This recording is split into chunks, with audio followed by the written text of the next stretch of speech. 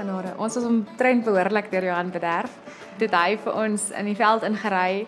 Ja, en 'n lekker vuurtjie aangesteek. Jo, ons het 'n spread gehad en daar was champagne en die sonsondergang. Was prentjie mooi geweest. Nou gaan ek julle wys die sonsondergange hierso. Ondergange. Ja, nou hoe lank gaan hoeveel dae gaan ons hier bly? Ja, die sonsondergang, laat ek dit reg prys. OK. Dit is so lekker want dit is letterlik 'n kilometer van die huis af. So jy sit te ver nie, maar dit voel of jy ver in die veld is en dan om jou is letterlik niks. So dit is so stil. Ja. As oop.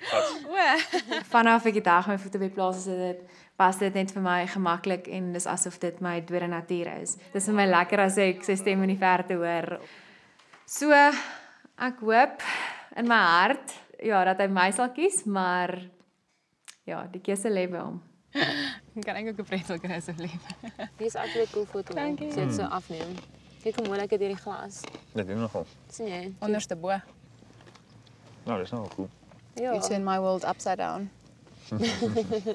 Ek dink daar is bietjie stres, maar ons het gesê ons gaan nie daaroor praat nie.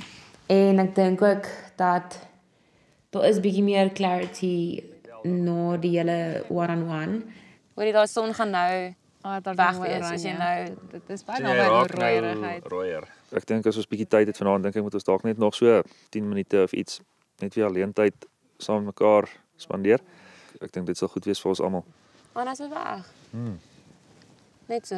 Ek daai klere, dit is nogal Nou kom nogal iewers anders op. ja. Dis nogal skerry om eintlik so daaraan te dink.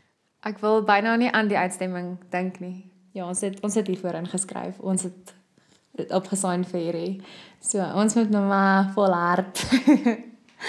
maar gelukkig is ek en Leandi sterk. Ja, ons weet wie ons is. Ons ja, standvastig glo ek tot die einde toe.